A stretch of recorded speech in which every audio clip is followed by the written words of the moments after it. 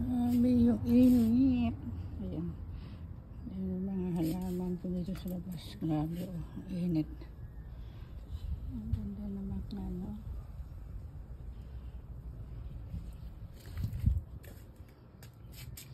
Namamatay na sila sa init. Hello, good morning. Good morning, good morning. Um, lahat ng mga bulak-bulak ngayon. Sobrang init.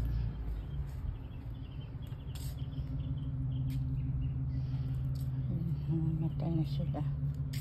Ayun, natanggal niya. Ano.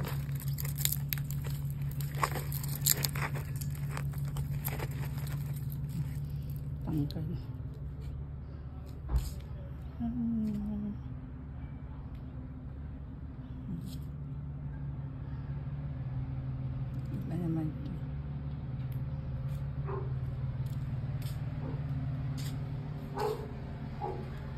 Mm.